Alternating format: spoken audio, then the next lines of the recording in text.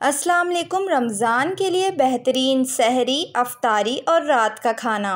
रमज़ान में अपनी सेहत का ख्याल रखना भी अहम है, क्योंकि सेहत है तो सब कुछ है। सेहत के साथ इंसान की ज़िंदगी आसानी से गुज़र जाती है, इसके बगैर इंसान रोज़ा भी नहीं रख सकता। अच्छी सेहत के लिए सहरी की टिप्स। सहरी में दूध और दही का इस्तेमाल लाजमी करें। सागुदाने की खीर का इस्तेमाल सहरी में करें ताकि बीमारियों से बच सकें। चक्की की आटे की रोटी लाजमी एक खाएँ। दो खजूरे या फिर किसी भी फल का इस्तेमाल ज़रूर करें।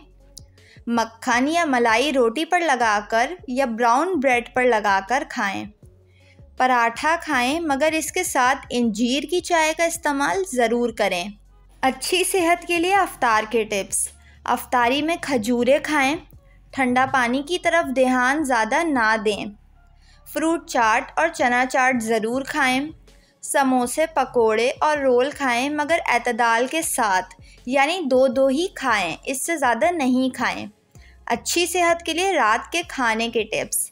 रात के खाने में ताज़ा फलों का जूस ज़रूर लें, आधी रोटी से ज़्यादा ना खाएँ, उबले हुए खानों का इस्तेमाल करें। उबले हुए चावल के साथ ग्रिल चिकन खा सकते हैं।